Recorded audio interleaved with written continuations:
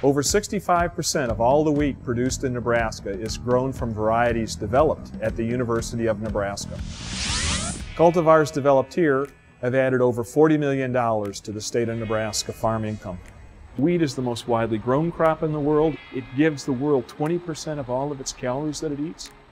It'll be an important crop, we think, forever in Nebraska, but at the same time, it's an important crop globally.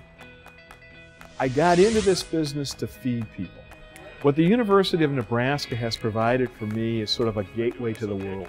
My research is focused on basically developing new varieties, but what really excites me is the chance to do that and have an impact.